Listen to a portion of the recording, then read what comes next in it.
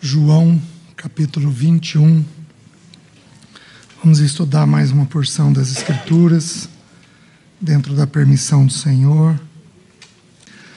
A palavra diz assim: Depois disto, tornou Jesus a manifestar, manifestar-se aos discípulos junto do mar de Tiberíades. E foi assim que ele se manifestou.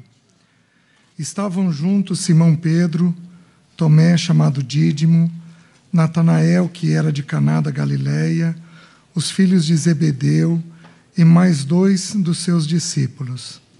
Disse-lhe Simão Pedro: Vou pescar. Disseram-lhe os outros: Também nós vamos contigo.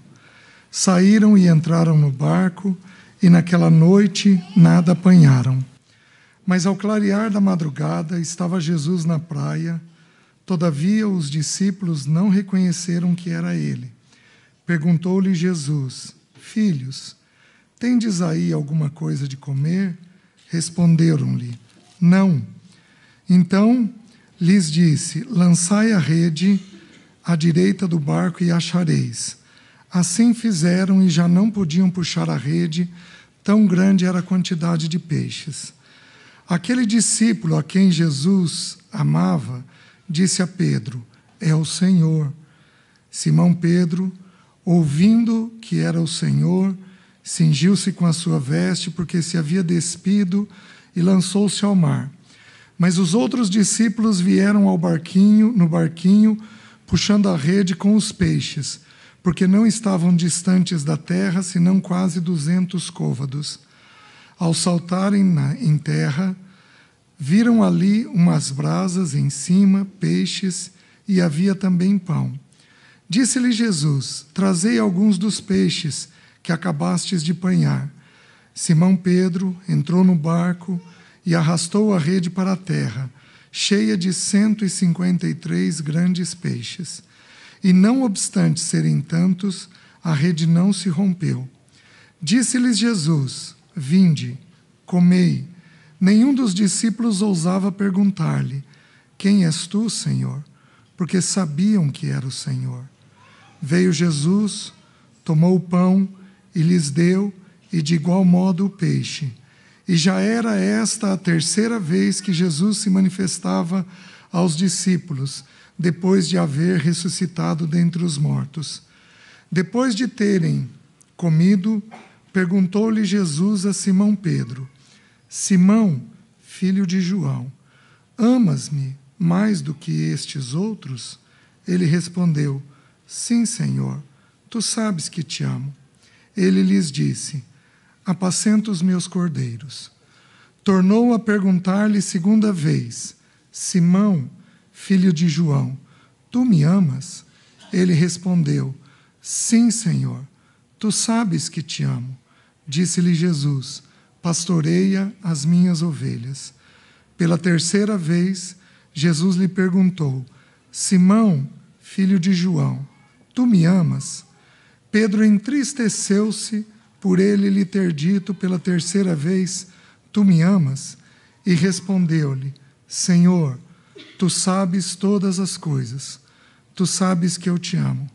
Jesus lhe disse: Apacenta as minhas ovelhas. Em verdade, em verdade te digo, que quando eras moço, tu te cingias a ti mesmo e andavas por onde querias. Quando, porém, fores velho, estenderás as mãos e outro te cingirá e te levar para onde não queres. Disse isto para significar com que gênero de morte Pedro havia de ser de glorificar a Deus. Depois de assim falar, acrescentou-lhe: Segue-me. Então Pedro, voltando, voltando-se, viu que também o ia seguindo o discípulo a quem Jesus amava, o qual, na ceia, se reclinara sobre o peito de Jesus e perguntara: Senhor, quem é o traidor? Vendo-lhe, vendo-lhe, pois, Pedro perguntou a Jesus: E quanto a este? Respondeu-lhe Jesus: Se eu quero que ele permaneça até que eu venha, que te importa? Quanto a, si, quanto a ti, segue-me. Então se tornou corrente entre os irmãos o dito de que aquele discípulo não morreria. Ora, Jesus não dissera que tal discípulo não morreria, mas se eu quero que ele permaneça até que eu venha, que te importa? Este é o discípulo que dá testemunho a respeito destas coisas e que as escreveu, e sabemos que o seu testemunho é verdadeiro. Há, porém, ainda muitas outras coisas que Jesus fez. Se todas elas fossem relatadas uma por uma, creio eu que nem no mundo inteiro caberiam os livros que seriam escritos. Vamos orar?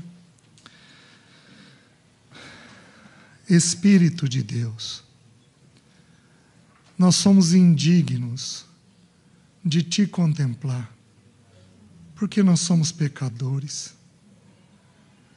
Senhor, se não fosse o teu sangue, nem os nossos louvores seriam suficientes, porque é fruto de lábios pecadores, Senhor. Mas nós te louvamos e te bendizemos, porque o Senhor vem atrás de nós, o Senhor nos ama, o Senhor, como nós acabamos de cantar, nos, nos procura nos cantos mais escondidos dessa terra, e nós queremos te louvar por isso te apresentamos essa porção da tua palavra. Eu reconheço, Senhor, que eu não sou digno de abri-la, muito menos de partilhá-la, muito menos de ouvir a respeito dela. Mas nós pedimos, Senhor, que o teu Espírito Santo tome a tua palavra e aplique ela aos nossos corações. Espírito de Deus, vem sobre cada um de nós, vem sobre os homens, vem sobre as mulheres vem sobre os jovens, vem sobre os solteiros, os que são sós. Então nós temos que saber dar nome para os pecados, dizer quem nós somos, dizer o que ocorre conosco. Todos nós os temos. Alguns pecados são de pouco dano, alguns pecados são de muito dano, mas todo pecado gera afastamento de Deus Pai. Então nós temos que aprender a lidar com isso. A segunda pergunta, ela é repetida duas vezes, que fazes aqui Elias, que fazes aqui Elias, porque fala das crises que nós temos na vida, que cada crise é permitida por Deus Pai.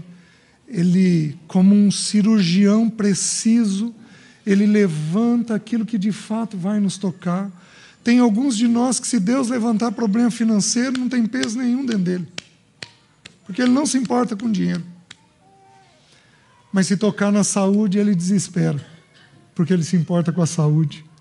Então Deus é um Deus preciso, mas ele é um Pai perfeito, que mede com exatidão o tamanho do problema, o que é necessário para resolver, como resolver.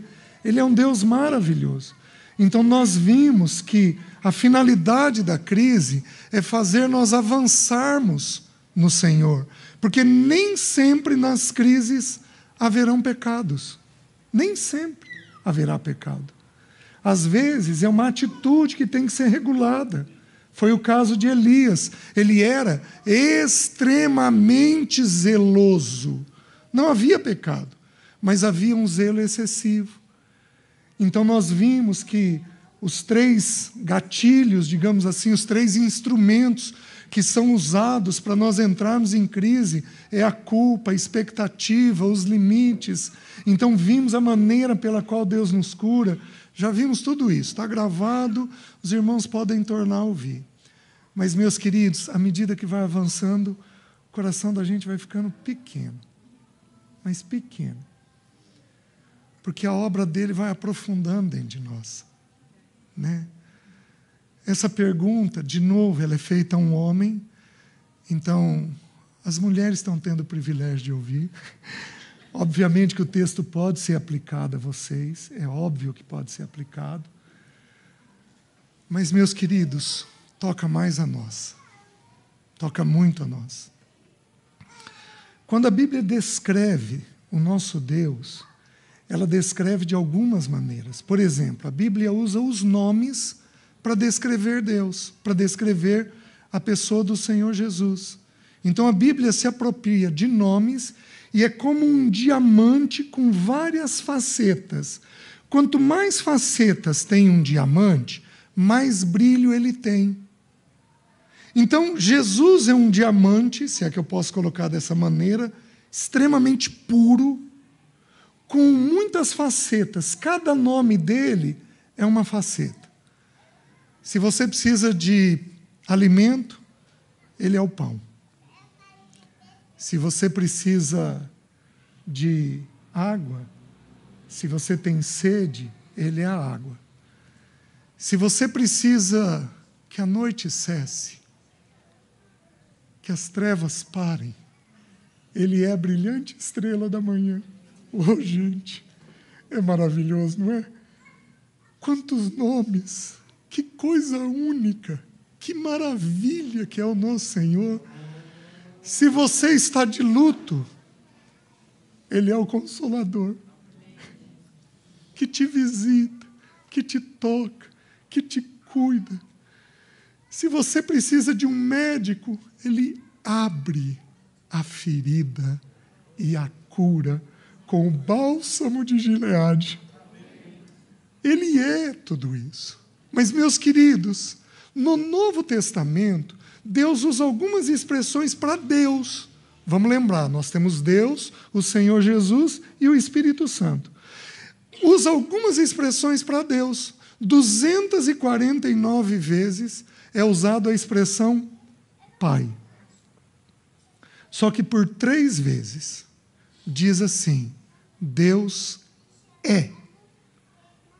Quando eu digo que uma pessoa é, eu estou dizendo que aquilo é, é a essência dele. Ele não pode agir fora daquela essência. Ele não tem condições de agir fora daquela essência, porque ele é. É uma questão da natureza dele. Se eu falar que um animal é um cachorro, eu espero que ele vai latir.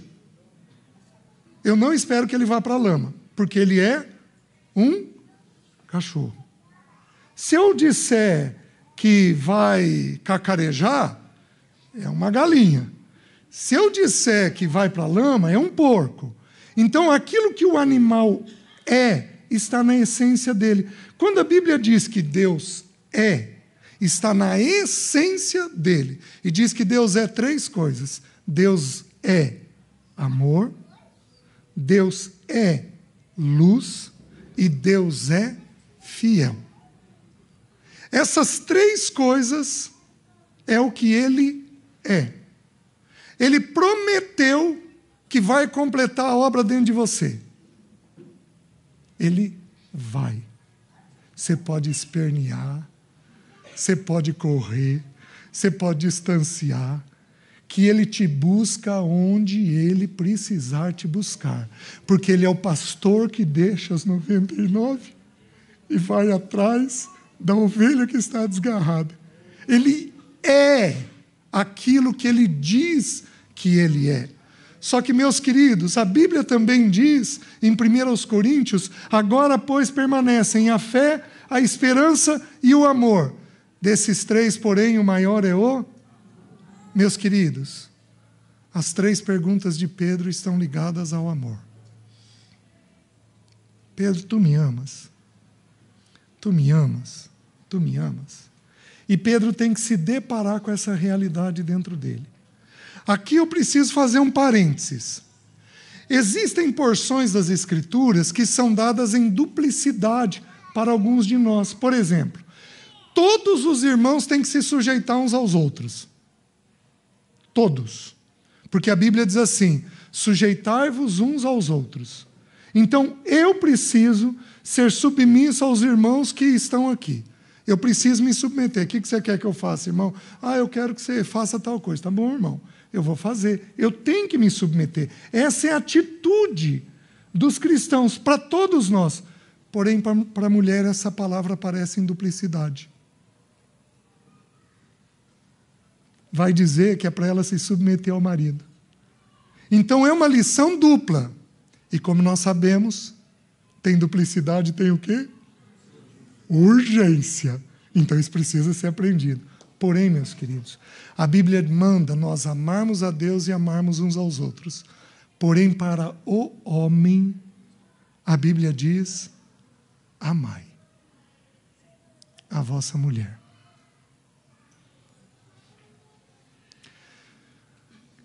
Eu vou dizer com toda a autoridade que me é possível. Um dos motivos de, às vezes, termos filhos problemáticos é porque nós não amamos a esposa do jeito adequado. Você quer uma coisa que regula filho? É um homem amar uma mulher. Quando não amamos de forma adequada, meus queridos, nós não temos noção do tamanho do estrago. Eu podia parar aqui e pedir para alguns irmãos me contarem as suas histórias, que eu vou pegar isso que eu estou falando e vou aplicar a história de vocês. Porque o que eu estou falando existe. Isso é real. Quando a Bíblia disse, eu falei já para os irmãos, e vós, pais, não irriteis os vossos filhos, a palavra usada ali é para o pai homem. Mas por quê? Se a mulher irrita mais que o homem? Porque quem regula a mulher é o homem. Quem trata a mulher é o homem. Então o que, que Deus vai fazer agora? Olha a sequência. Trata os pecados em Adão, lida com as crises e vê o que, que a crise quer refinar, quer trabalhar dentro de você para o bendito dia do arrebatamento. Porque a, a figura que Elias é uma preparação, as crises são uma preparação para o nosso arrebatamento, para o nosso encontro com o Senhor. E agora o Senhor vai trabalhar uma coisa muito simples. Você de fato tem amor? Você de fato ama?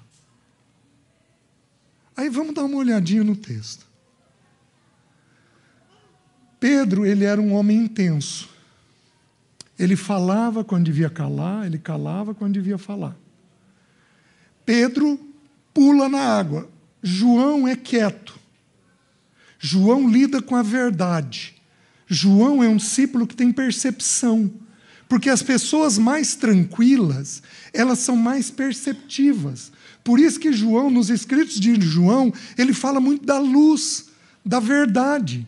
Porque a pessoa mais serena, mais tranquila, ela identifica as verdades, os caminhos, de uma forma muito mais fácil. Não é à toa que João é o único que diz a respeito do nosso Senhor. Obviamente que a pena é do Espírito, mas é o único que diz a respeito do nosso Senhor. Ele é o caminho, a verdade e a vida. João tem percepção das coisas porque ele é um discípulo mais sereno. Ele reclina a cabeça no peito do Senhor. Pedro não. João percebe: Simão, é o Senhor. Mas Pedro faz o quê? Pum. Que bom, nós precisamos de irmãos que mergulhem na água e que vão correndo até o Senhor e que vão à frente de nós. Porém, meus irmãos, isso precisava ser regulado também dentro de Pedro, porque ele tinha um exagero, uma intensidade que não era santa, não era adequada. Então ele vira, o Senhor fala da morte dele e diz assim: ele vira e diz assim: Estou pronto para ir contigo até a morte. E naquele momento ele estava mentindo? Não. O que ele não conhecia é que ele falava demais. E ele se comprometia com coisas que ele não ia dar conta de fazer. Porque quem fala demais faz isso. Se compromete com coisas que não vai dar conta de fazer. E aí o Senhor, o Senhor, meus queridos, a, a última pergunta, não sei se vou mencionar talvez rapidamente hoje à noite, a última pergunta é feita para Saulo. Saulo, Saulo, por que me persegues? Sabe o que é Saulo no hebraico? Desejado.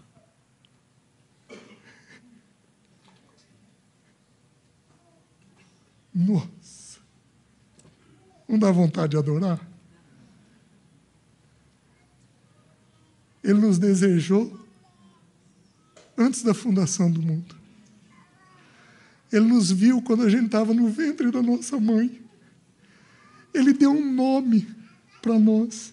Ele deu uma tarefa para nós.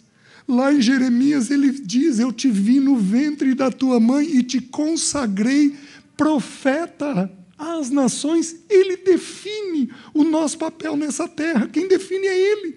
Não somos nós, não são os pais. Os pais são apenas cooperadores de Deus para ajudar os filhos a definirem aquilo que Deus escreveu para eles. É lindo, é maravilhoso. Então, sabendo que Pedro havia sido escolhido antes da fundação do mundo, desejado, como foi Saulo, o Senhor, quando ressuscita, as Marias, no livro de Marcos, as Marias vão até o sepulcro e acham um anjo, um jovem, assentado no túmulo de Jesus e o túmulo vazio, o sepulcro vazio. E o anjo diz para elas: Vocês procuram a Jesus, o Nazareno? Ele não está aqui, mas ele recitou. E aí o anjo diz assim: Vai, dize aos discípulos e a. Meus queridos, ele nos procura.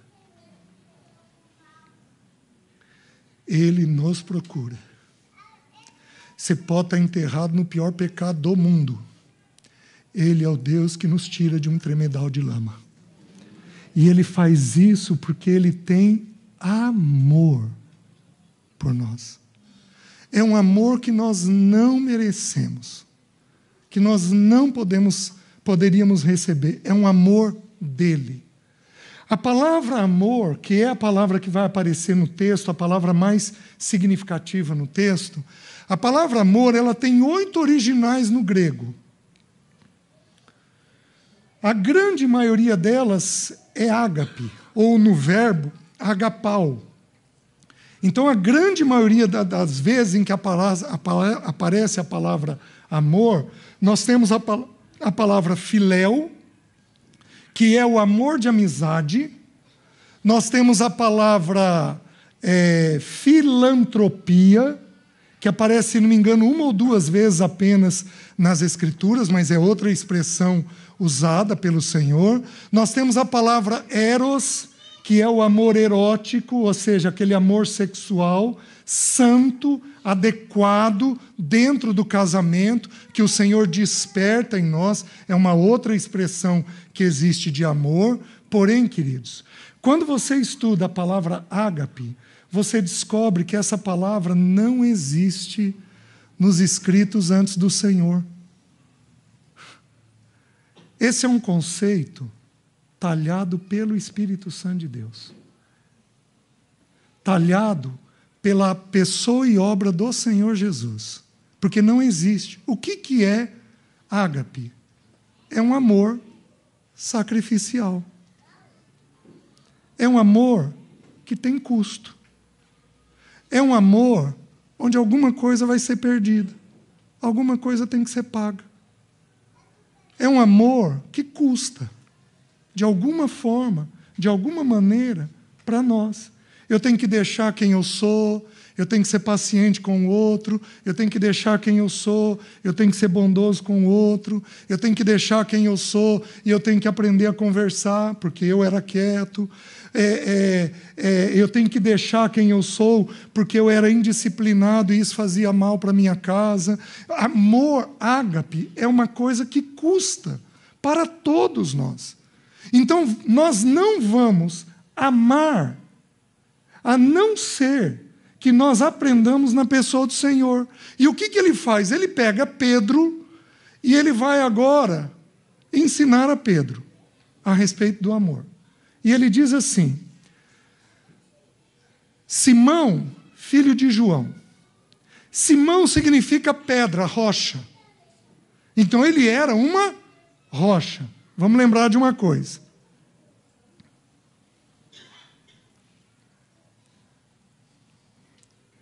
Você pode ser uma rocha porque você é sólido e firme. E a casa, ela encontra uma boa base em cima de você. Mas você pode ser uma rocha de dureza. De teimosia. A rocha que o Senhor está esperando em Pedro é a rocha da firmeza, da determinação, naquilo que ele quer, de ser determinado e de não ser duro. Porque isso é contra a natureza de Deus Pai, de Deus Filho e do Espírito. Nosso coração tem que ser um coração vergado, inclinado para onde Ele quiser que a gente vá, flexível para onde Ele quiser que a gente vá. Esse precisa ser o nosso coração. Então ele vira e diz assim: Simão, filho de João. E aí eu tenho que parar de novo. Porque João, na Bíblia, o nome João tem dois significados. O Senhor, deixa eu falar com clareza para vocês, que às vezes ele me foge.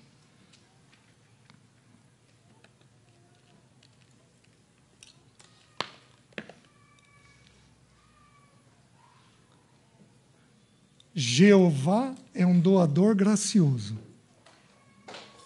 Então, João significa o derramamento da graça. Se o Senhor nos permitir, nós vamos olhar isso hoje à noite. Significa o derramamento da graça numa pessoa. Então, João Batista era um homem gracioso. Porém, a palavra João, usada para o pai de Pedro, é Iones, que significa Jonas, que significa pomba. Se você parar, o João da Bíblia, o Jonas da Bíblia, ele era quem? Um fujão. No hebraico, Jonas, o Jonas, que foi engolido pelo grande peixe, o Jonas na Bíblia significa pomba. Iones no hebraico. O nome é repetido depois no grego. E aí, a pomba, qual é a principal característica da pomba? A pomba só pousa em lugar seguro. Você está me entendendo? Então, quando Jesus recebeu o Espírito Santo, o Espírito Santo desceu sobre ele em forma de. Porque ele era seguro. Mas quando o Espírito Santo desceu sobre os discípulos, desceu em forma de fogo. Por quê? Ih, eles não tinham nada de seguros. Eles precisavam ser purificados pelo fogo. Vocês estão me entendendo? Então, Jonas, quando é usado para nós, a pomba, quando é usado para nós, ela tem um significado sério de fuga. Então, o pai de Simão era um fujão. O que, que ele fez? Fugiu. Ele pôde amar o Senhor do jeito que ele queria? Não. Por quê? Porque ele fugia. Os irmãos estão entendendo? Então, essa coisa de ir para o norte, de ir para o sul, tem fuga. Ele vai e desvai baseado no quanto ele vai ter de ganho e o quanto ele vai ter de perda. É assim que funciona a alma humana. Vocês estão entendendo? E aí o Senhor vira para ele e diz assim: Simão, filho da pomba filho daquele que só pôs em lugar seguro. Eu podia dar exemplos. Uma mulher, quando ela altera com o marido, com o filho, ela está alterada por quê? Faz o que eu estou querendo, porque isso vai me dar segurança. Ela está querendo pousar em lugar seguro. Faz sentido, meus irmãos? Todos nós temos isso, temos essa atitude. E aí então o Senhor diz assim: Simão, filho de João, deixa eu voltar lá para João 21, o versículo 15. É, Simão, filho de João, amas-me mais do que estes outros? Por que, que o Senhor tem que fazer essa pergunta? Porque o Senhor, lá na segunda pergunta, tem que jogar luz sobre quem nós somos. O que, que Pedro tinha dito? Senhor, ainda que todos te deixem, eu jamais o Senhor tem que revelar o coração dele. Sem, Simão, filho de João, tu me amas mais do que a estes outros? E ele diz assim: Senhor, tu sabes que eu te amo. E aqui os irmãos sabem de cor e salteado do que eu vou falar. Jesus usa um trocadilho de palavras. Porque Jesus diz assim: Simão, filho de João, tu me haga pau mais do que estes outros? E João responde: Pedro responde: Senhor, tu sabe que eu te filéu. Ele já tinha tido consciência. Senhor, eu tenho uma amizade, mas eu não sei o quanto eu quero pagar o preço. Eu gosto, o senhor é ótimo, é um amigo excepcional, posso procurar o que eu tiver necessidade, mas eu não sei o quanto do sacrifício eu quero fazer. Os irmãos estão entendendo? Meus queridos, minha esposa virou para mim e falou assim: é, eu, eu perguntei para ela, Leci, o que, que eu preciso fazer para você se sentir amada? Ela falou assim: Eu queria que você tomasse café da manhã no sábado comigo. Meus irmãos, está difícil. Mas eu acordo cinco e meia da manhã. E no sábado, a Alessi também acordava cedo, ela ia sair às nove horas da cama. O que, que ela queria que eu fizesse? Fica na cama comigo. Eu só tinha o sábado para fazer minhas coisas.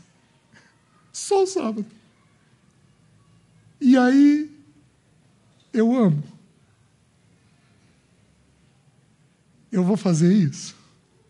O raciocínio que o Espírito me levou foi: tá fácil, hein? Ela não pediu grandes coisas. Meus queridos, depois da doença, nós corríamos às padarias de Maringá para experimentar os melhores cafés. Você tem noção da paz que isso deu quando ela partiu? Porque eu a Amém. Com amor sacrificial. Porque eu abri mão das coisas que eu tinha para fazer. Simão, filho de João, tu me amas mais do que a estes? Senhor, tu sabes que eu só te filéu. Aí o Senhor diz assim: apacenta os meus cordeiros. Guarda essa palavra cordeiro aqui. A palavra apacenta significa alimenta os meus cordeiros. Guarda isso aqui num cantinho. Aí vem uma segunda vez a pergunta do Senhor. Agora o Senhor resume, porque ele já havia tratado a atitude de Pedro, já tinha lançado luz e Pedro já tinha admitido. E aí vem a segunda vez a pergunta é, tornou a perguntar-lhe pela segunda vez: Simão, filho de João, agora não compara com os outros. Diz apenas assim: Tu me agapau? E Pedro diz: Sim, Senhor, tu sabes que eu te filéu. E aí Jesus torna a dizer: Disse-lhe Jesus: Pastoreia as minhas ovelhas. A palavra pastoreia significa cuida das minhas ovelhas. Preste atenção.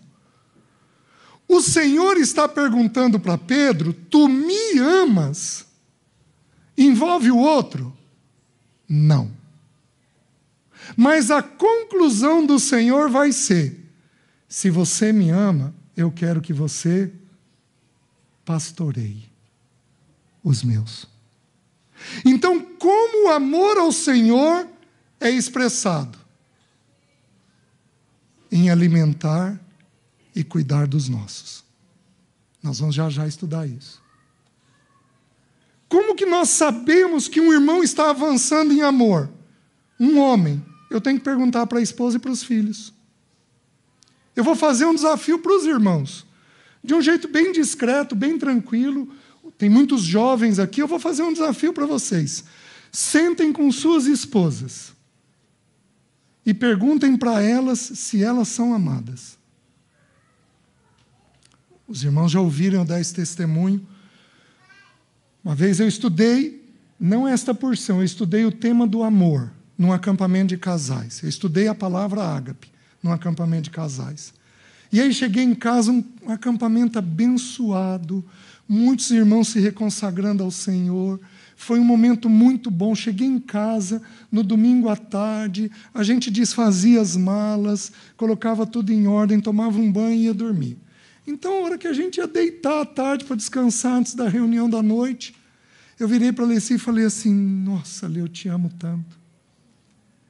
Ela virou para mim e falou: Eu não sei se você me ama assim. Aí eu falei: Como assim?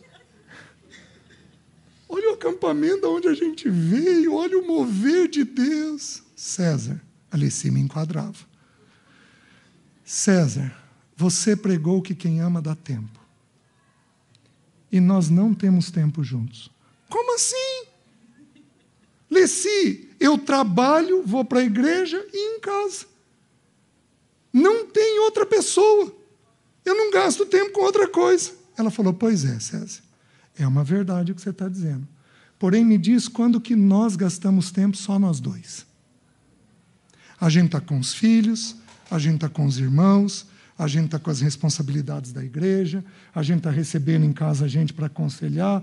Me diz quando foi a última vez que saímos nós dois para conversarmos, para resolvermos as nossas coisas. Meus irmãos, as irmãs estão amando. Estou vendo o sorrisinho delas. As irmãs estão amando. Fala, Senhor. As irmãs estão desse jeito. Isso mesmo, Senhor. Fala com ele.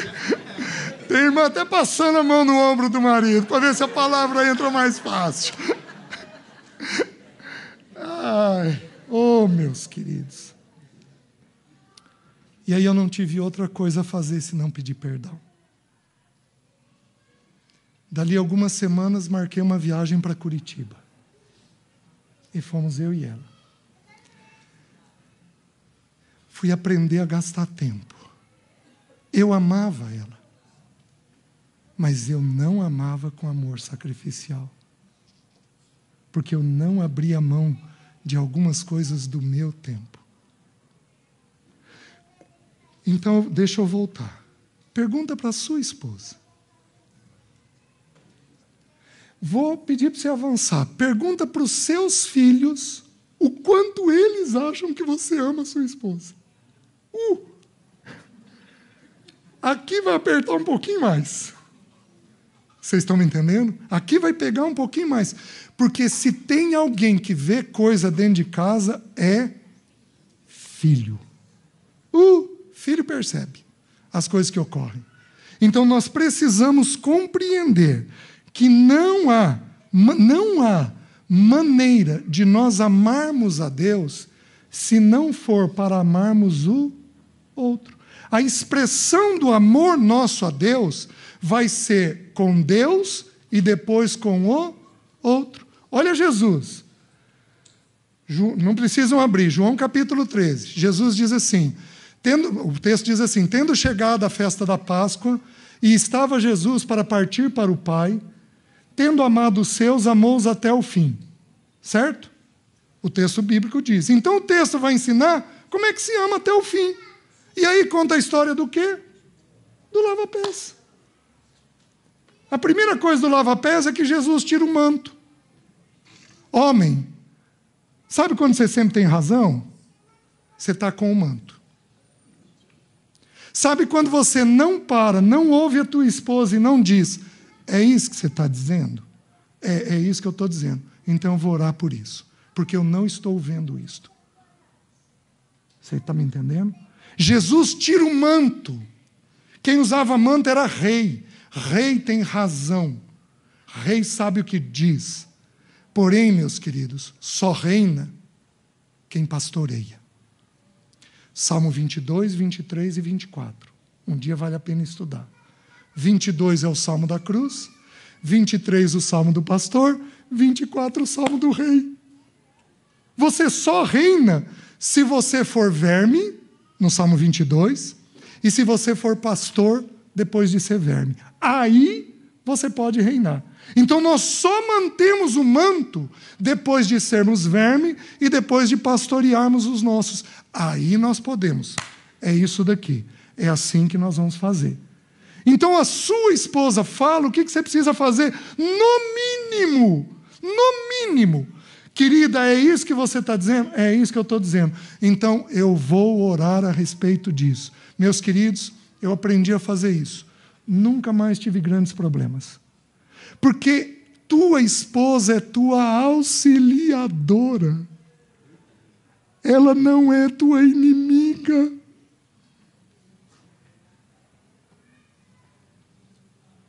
Vira para ela e diz isso. Você não é minha inimiga.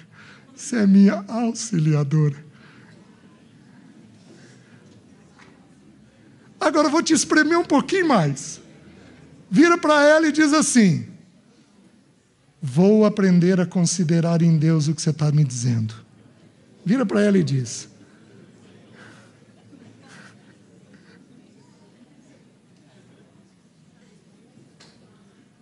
Tu me amas? Você tem por mim amor sacrificial? Jovem, vocês vão aprendendo. Tá bom? O jeito que é. Você tem por mim amor sacrificial? Então, cuida das minhas ovelhas. Guarda essa expressão cuidar, que nós já vamos voltar nela. Ele usa cordeiro, ovelha e cordeiro. Ele usa apacentar, cuidar e apacentar. Ele usa essas expressões.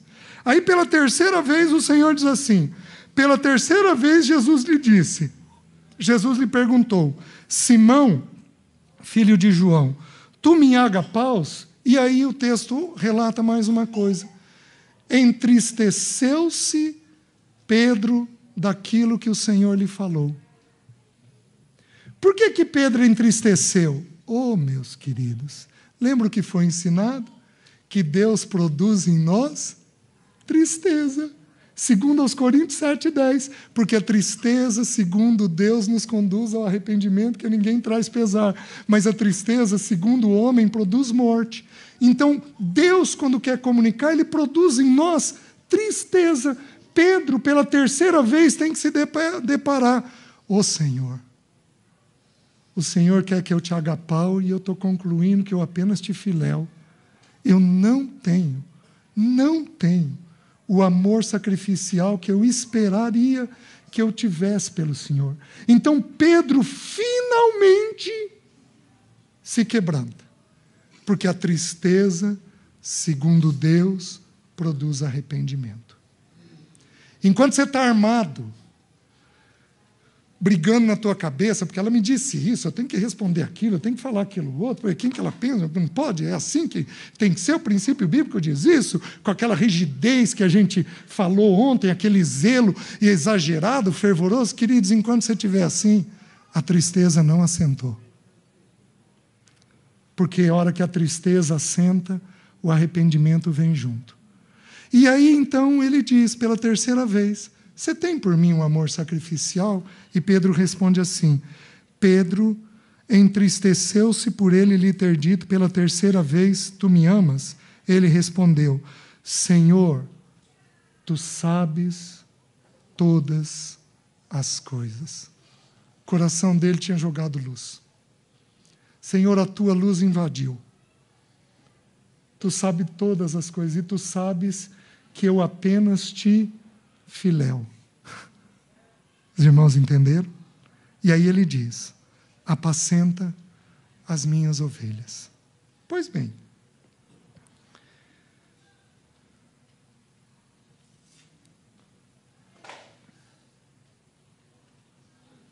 um homem casado, ele é o pastor do seu rebanho.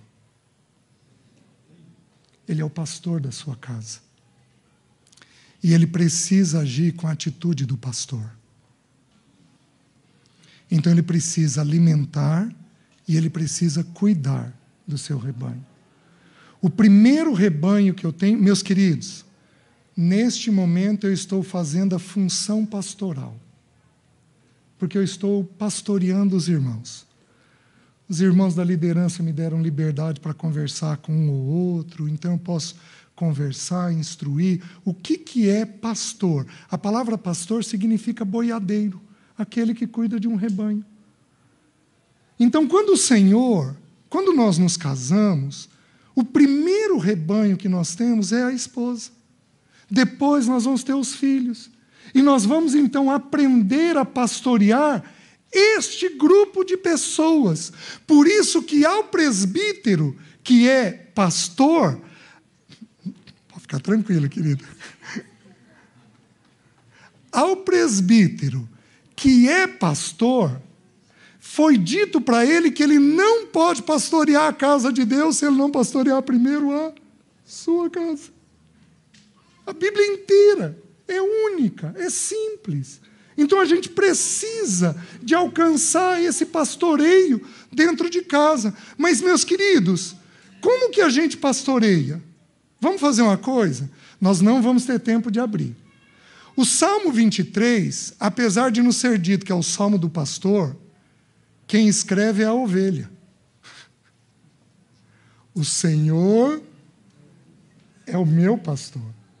Então a perspectiva do salmo não é a perspectiva do pastor, é a perspectiva da ovelha. Então, deixa eu falar algumas coisas para os irmãos a respeito da ovelha. Então, presta atenção. Filhos, vocês têm um pastor, que é o pai de vocês. Mulher, você tem um pastor, que é o seu marido. Tá? Os que são sós vão ter pastores, que são aqueles que Deus levanta para cuidar de vocês. Pode ser um irmão da igreja, pode ser um irmão à distância. É, Deus vai levantar pessoas para pastorear a sua vida. Em geral, os irmãos da igreja, do pastoreio, do governo da igreja, são os primeiros irmãos a fazer isso, mas não são os únicos a fazer isso, porque o Senhor é livre para levantar quem quer para cuidar da gente em determinados momentos. Pois bem, qual é a primeira característica da ovelha? Homem, presta atenção. Eu estou falando da tua esposa, dos teus filhos. Entenda quem é a ovelha. A ovelha é um rebanho que é conduzido pela frente e não por trás. Os rebanhos, a gente assiste filmes. A gente, lá na minha região, a zona rural é enorme. Então, quando você vê uma pessoa conduzindo vacas, ela conduz por onde? Por trás. Ela vai cercando, vai empurrando. Então, é um animal que tem que ser empurrado. Quando você vê um grupo, um, um, uma tropa de cavalos sendo conduzida, ele é conduzido de que jeito? Por trás. Então, é por trás que ele vai sendo empurrado. Mas, meus queridos, a ovelha é diferente a ovelha segue o pastor. Ela é conduzida pela frente.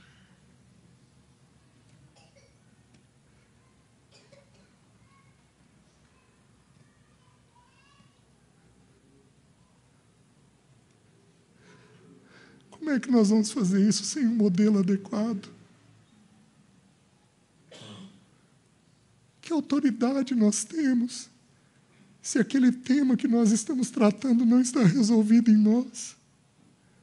Mulher, teus filhos são tuas ovelhas também. Como é que nós vamos, meus queridos, lidar com isso, lidar com essa responsabilidade? Pedro virou para Jesus, Jesus virou para Pedro e falou: Pedro, se torna modelo do rebanho. Se torna modelo do rebanho se torna referência do rebanho.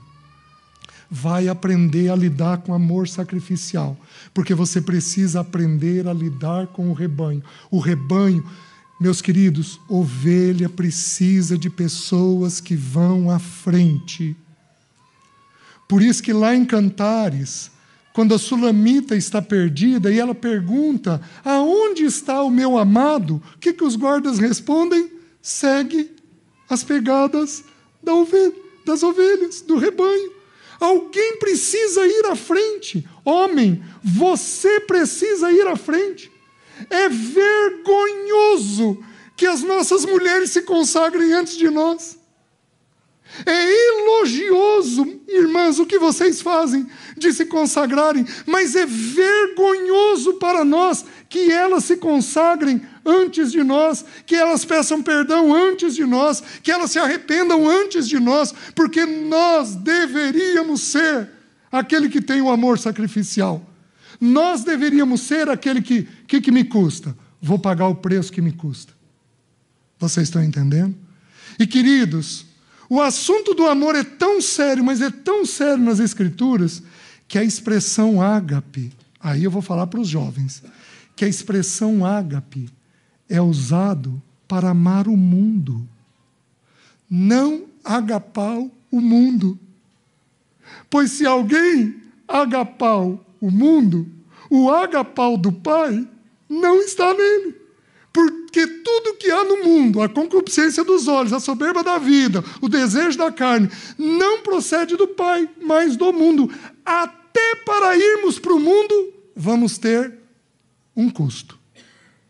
Um custo de retorno, um custo de liberar a mente, de santificar a mente, de santificar os afetos. Oh, meus queridos,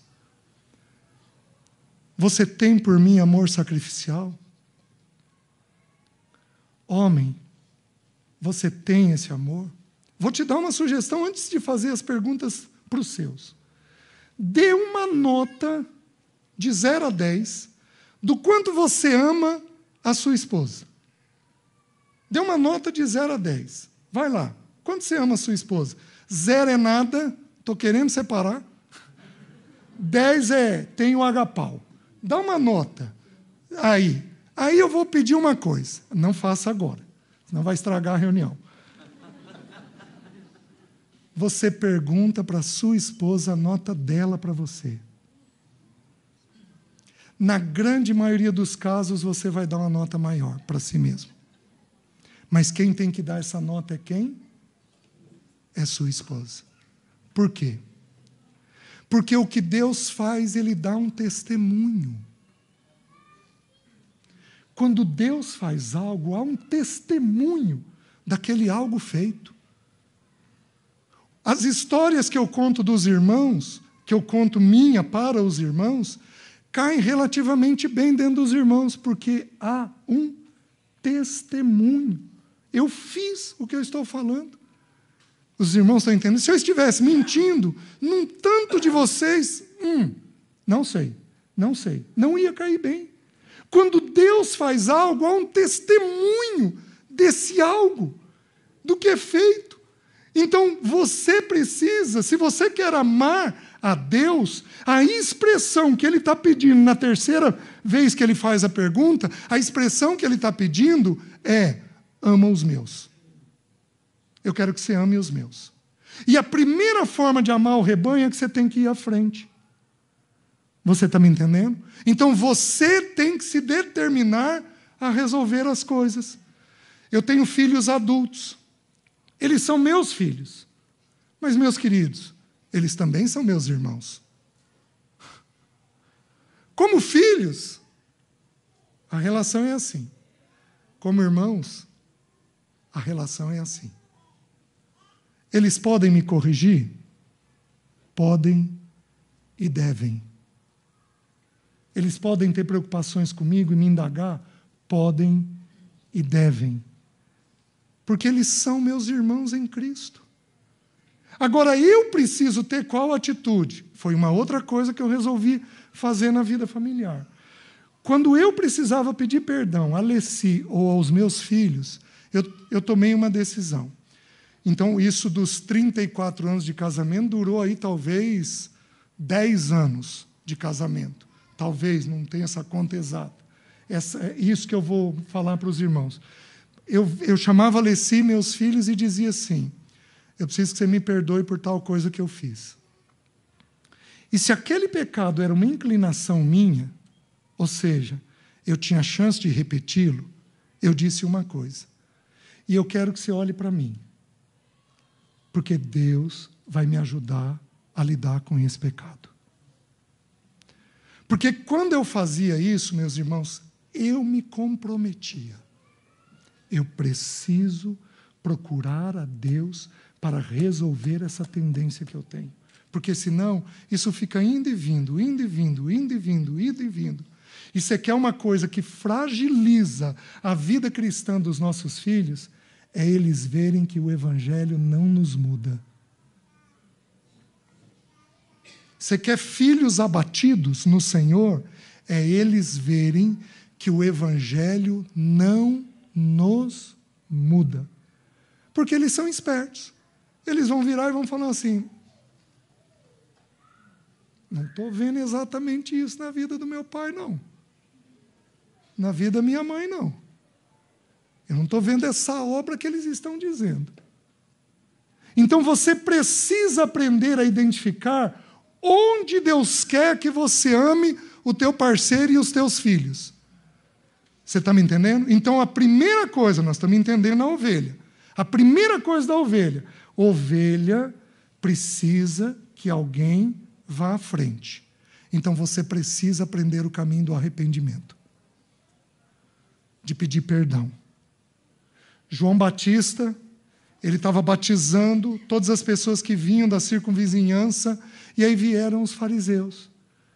E ele diz assim: raça de víboras, quem vos induziu a fugir da ira vindoura? E aí ele diz assim: produzi, pois, frutos dignos de arrependimento. Meus queridos, arrependimento tem quatro frutos dignos. Eu confesso,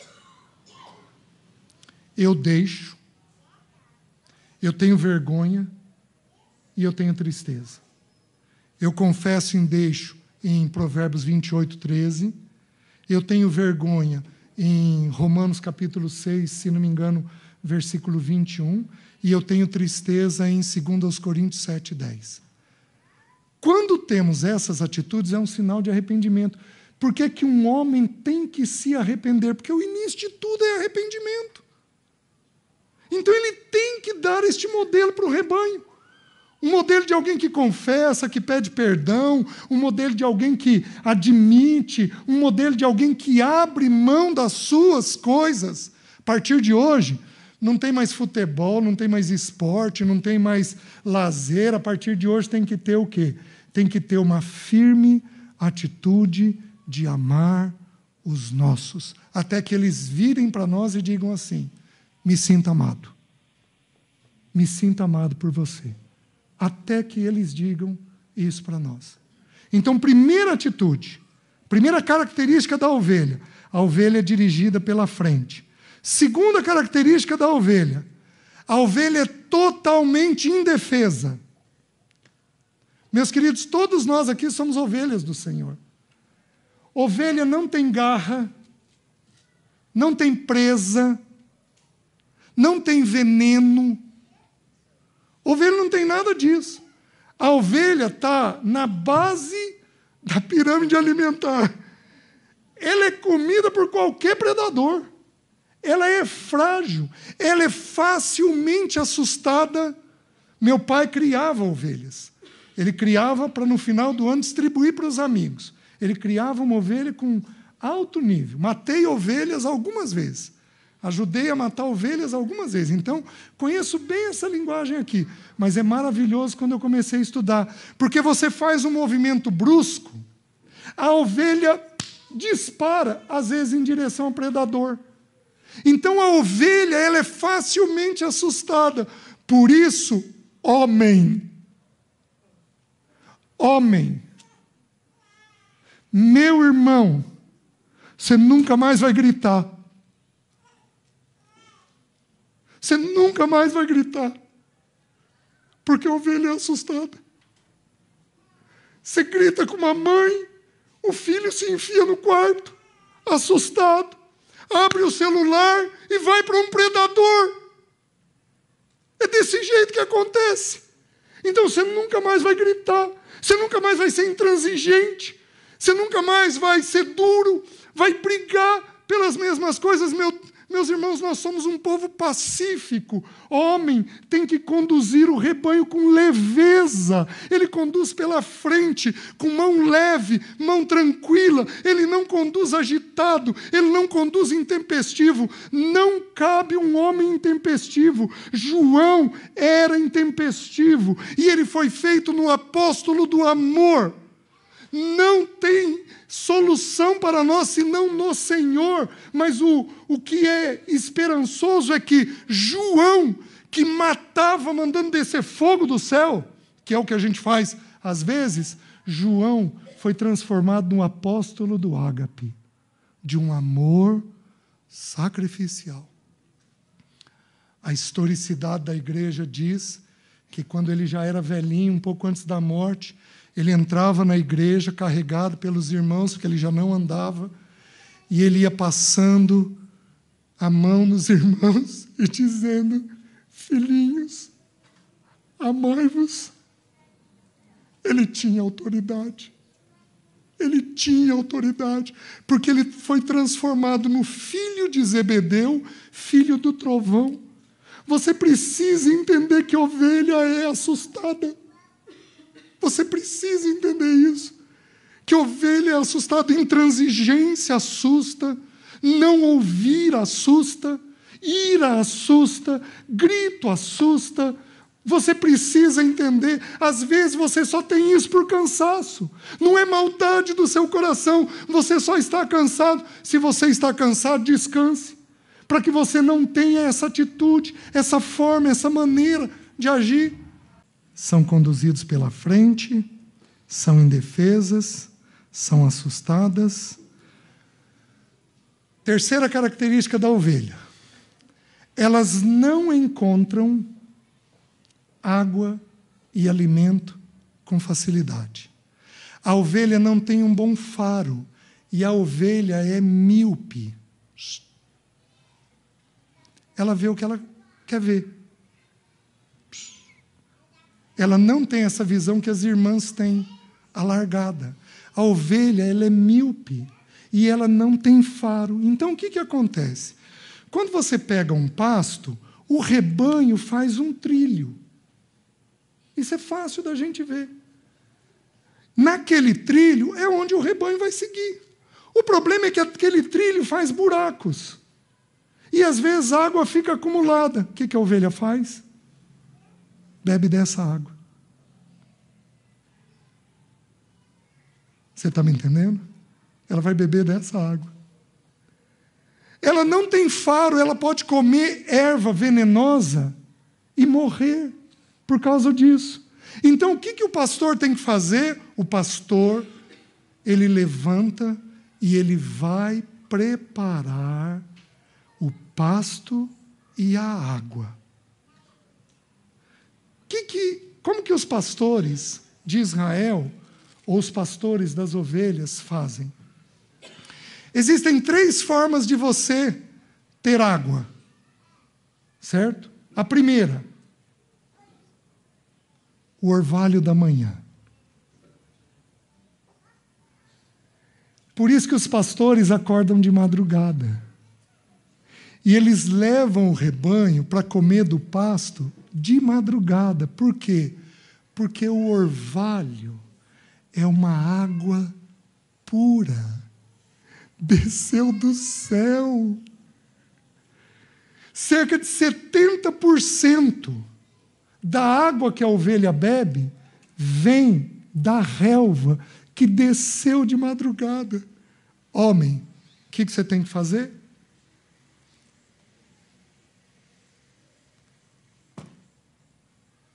Você tem que levantar. E não é estudar para pregar na igreja. Você tem que abrir isso e ler como um filho está diante do seu pai, procurando o que o grande pastor tem para as suas ovelhas. Você está me entendendo? Meus queridos, é tão maravilhoso. Alessia adoeceu. E aí a médica suspeitou, ó, precisa fazer um exame da medula óssea, porque tá estranho esse resultado. Aí fomos para, achamos uma médica, fomos, A Alessi numa docilidade, a médica teve dificuldade de perfurar o osso, teve que fazer três vezes. A Alessi passando a mão nela e acalmando ela. Doutora, fica tranquila, a senhora vai conseguir. Aí a médica colheu um pouco de material suficiente para a biópsia, e aí eu lendo a palavra no meu devocional, eu lendo a palavra, e aí aparece Jó, se não me engano, capítulo 24, 10, 24 ou 24, 10, diz assim: Um morre em pleno vigor da sua força, tendo a sua medula fresca. A única coisa que eu li foi: tendo a sua medula fresca. Eu virei para Alessi e falei: Deus me falou, Deus me falou que não vai dar nada. Alessi falou: não é o que Deus me falou. Deus me falou que iam ser duas coisas. Não lê, está aqui o texto. Deus me falou. Só que o que eu não li por esgotamento, porque eu estava assustado com a situação, o que eu não li é: um morre em pleno vigor da sua força. Minha sobrinha filha morreu dois meses depois, tendo a sua medula fresca. Deus fala. Homem, Deus fala. Deus fala. Deus fala. Ele fala, ele conduz, ele orienta, ele dá instrução, ele dá impressão, ele dá sonho, ele fala pela autoridade. Deus fala de muitas maneiras conosco. A questão é: você precisa ouvir a voz dele para alimentar os seus.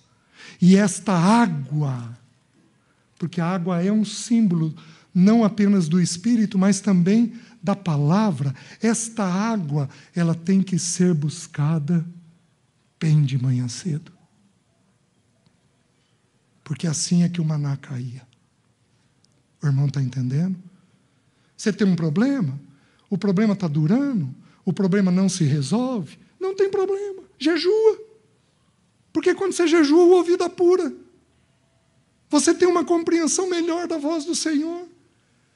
Eu tive um problema que eu e a Alessi tivemos dificuldade de resolver, que durou muitos anos. Meus filhos cresceram e perceberam um problema. Um dia os dois me procuraram. Pai, nós queremos falar com o senhor a respeito disso daqui. E eles me falaram o problema. Eu falei: Ó, oh, tua mãe me diz, nós já conversamos, mas eu não consigo ver. Então, se vocês estão vendo, a mãe está vendo e eu não estou vendo, vamos fazer uma coisa? Eu quero que vocês orem pela minha mente. Eles oraram três meses. No terceiro mês, eu vi. Deus tem solução. Não tem problema que Deus não solucione. Decore Naum, capítulo 1, versículo 2, porque lá o texto bíblico diz assim: que ele tem um caminho na tormenta e na tempestade. Meu querido, que são adolescentes, que são jovens, que têm lutas, você ora com ele por isso. Mas eu não estou perguntando se você ora um dia. Eu estou perguntando, você pega aquela situação, filho, posso orar por você a respeito disso daqui? Eu tenho tido períodos de mês orando com os meus filhos por determinados temas. O filho se sente seguro, porque o pai, o pastor, está buscando a Deus por ele. Oh, meus queridos, tem formas e mais formas de nós alimentarmos os nossos, de nós buscarmos a água para os nossos. A primeira é buscar essa água limpa e pura que cai do alto. Qual é a segunda forma de providenciar água para a ovelha? A segunda forma de providenciar água para a ovelha é você procurar as fontes. Quem aqui vem da zona rural sabe disso. Meu pai tem uma porção de terra, deixou para minha mãe, agora para nós. E é uma terra bem regada, então a gente conhece as, pontes, as fontes. A gente sabe onde tem fonte, sabe onde dá para fazer os bebedouros, sabe onde a terra vai ser boa, porque ali tem uma fonte, a água simplesmente brota. Você não sabe o que fazer? Não tem problema, procura uma fonte. Eu tive três ocasiões que eu não sabia como agir. O que, que eu fiz? Procurei o irmão Paulo Bornelli. Ô Paulo, e sobre esse tema? O que, que a gente faz? Como que a gente resolve? Qual a instrução que você dá nisso daqui? Procura uma fonte, procura um livro, procura o texto das Escrituras a respeito daquele tema, procura um irmão maduro naquela área. Irmão, como é que você age assim? E aí alimenta os seus, provê a água para os seus. Mas não é apenas essas duas formas. Tem uma terceira forma, que é encontrada em Israel um pouco mais. Em Israel tem regiões que são de muita pedra. Que, que o pastor faz? Existem águas que são encontradas apenas em cavernas. O pastor entra nessa caverna. Ele desce até lá. Ele soa, porque é um lugar quente. Ele permanece lá alguns dias indo buscar água para o seu rebanho. Homem, tenta entender.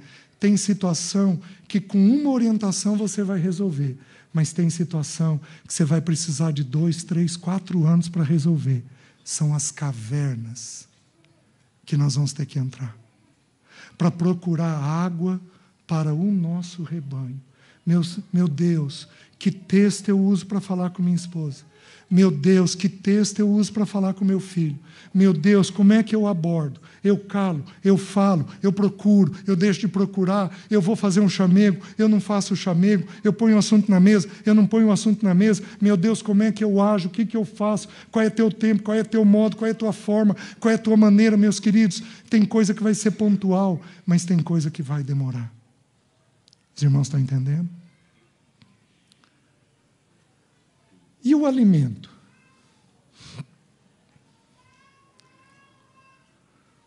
Quando você vai preparar um pasto,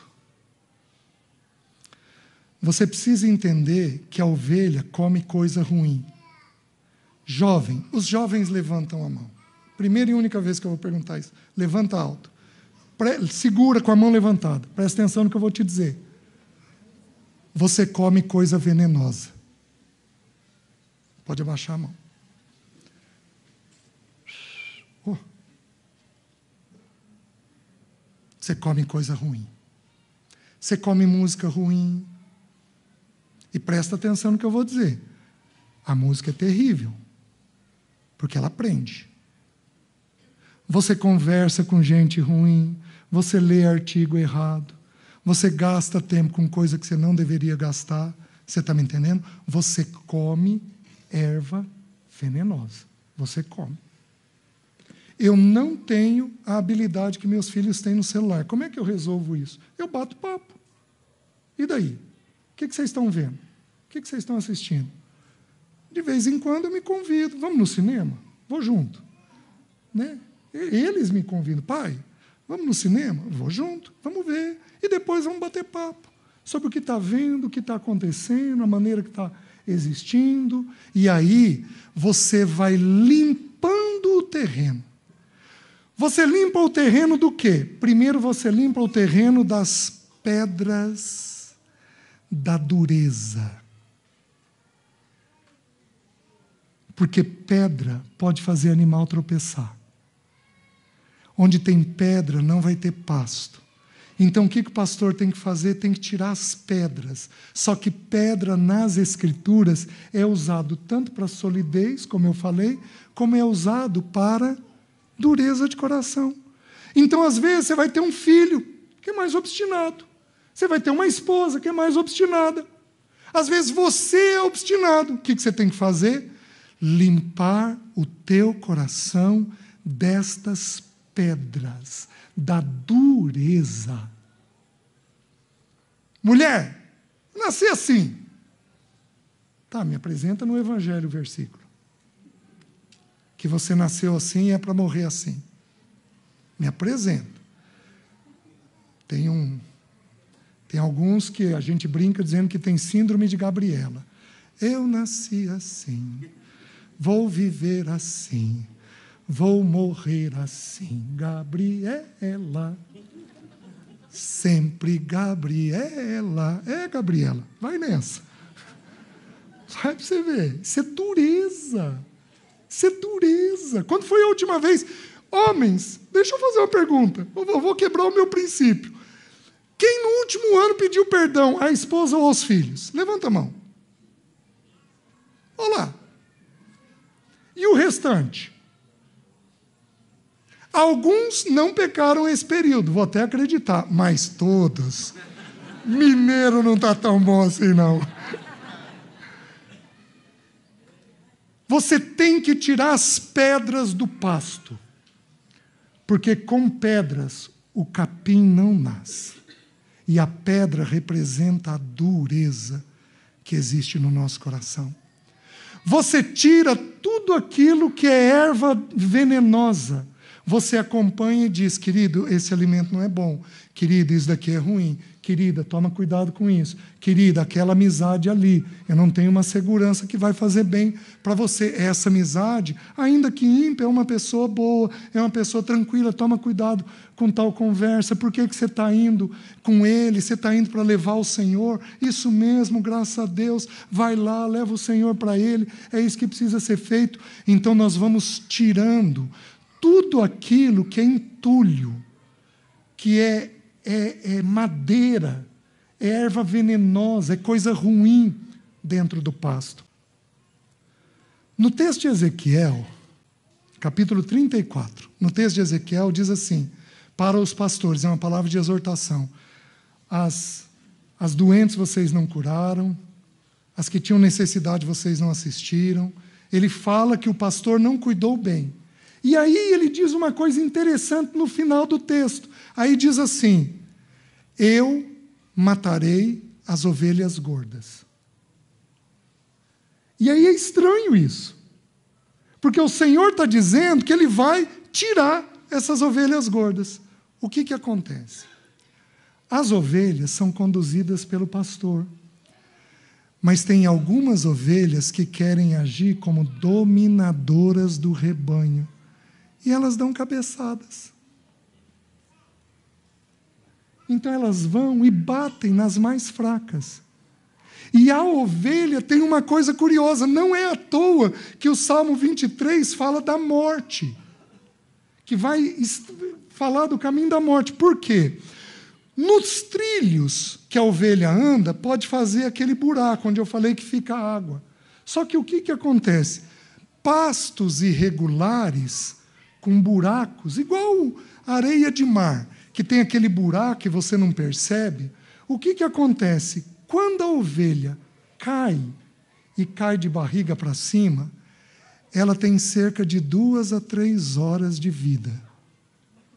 Por quê? Porque ela cai com as quatro patas para cima e ela não consegue levantar. E a, o peso da pele dela pressiona o pulmão. E cerca de duas ou três horas depois ela vem a óbito, ela morre. O que, que o pastor tem que fazer? Ficar atento em caminho de morte o tempo inteiro. E não apenas nesses caminhos de morte, mas ele tem que ficar atento às ovelhas gordas que dão cabeçadas nos nossos. Meus irmãos, eu sou líder na casa de Deus. E é triste o que eu vou falar. Mas é muito triste. Você quer destruir um bom líder, você mira o filho dele, a filha dele.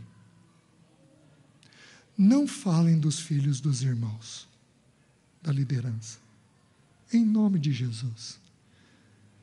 Eu não estou pedindo isso como líder. Eu estou pedindo isso como um pai. Porque os irmãos vão machucar não só o líder, mas os filhos. Vocês não têm noção do quanto machuca. Porque miram o líder. É uma estratégia do diabo.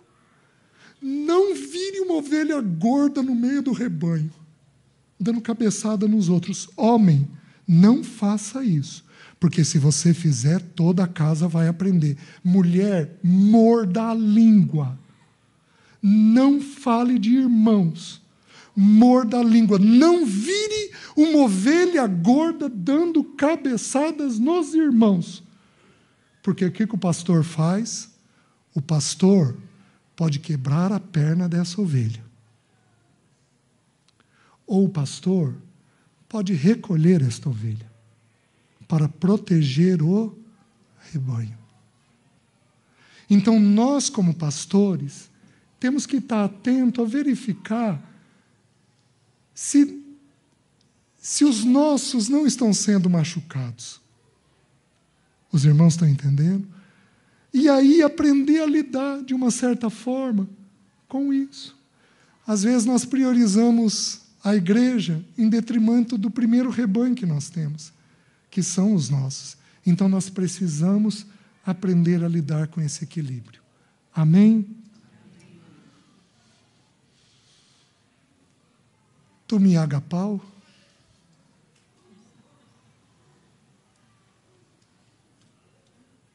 Então eu estou te dando ovelhas. Vai cuidar desse precioso rebanho meu.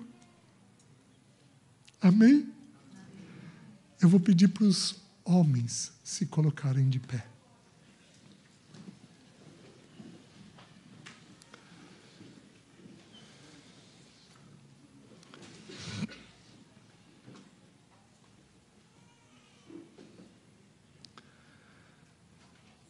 Vou pedir para as mulheres, se for possível, que estão perto, colocarem as mãos sobre esses homens, se for possível.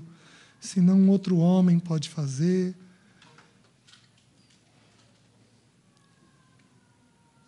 Espírito Santo, curva sua cabeça. Espírito Santo de Deus. Nós não somos dignos do teu pastoreio. O Senhor nos ama tanto. E o Senhor levantou pessoas para cuidarem de nós.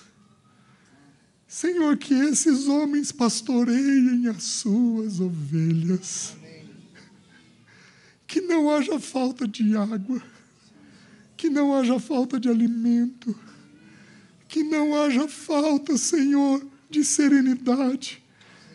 Senhor, nos perdoa quando nós assustamos o nosso rebanho. Perdoa aqueles homens que são duros, que são pedras, que são irritados. Perdoa-nos, Senhor, nisso. E visita-nos com a mansidão do Senhor. Em nome de Jesus, nos torna pastores semelhantes a Ti. Nos dá um rebanho para pastorearmos em nome de Jesus. E, Senhor, eu oro não apenas por eles, mas eu oro pelos presbíteros desse reunir, pedindo que o Senhor conceda a eles a graça de não apenas pastorearem o seu rebanho, mas pastorearem também essa congregação. Senhor, tem misericórdia deles, por causa do peso que existe sobre eles. Ajuda-nos como igreja a interceder por eles e, Senhor, levanta um corpo forte. Ensina-nos a sacrificar aquilo que nos é precioso, como Jesus sacrificou a proximidade do Pai, sacrificou a glória que Ele tinha. Ajuda-nos a nos esvaziarmos de nós mesmos para amarmos os nossos. Eu oro em nome de Jesus. Amém. Podem sentar. Deus abençoe, irmãos.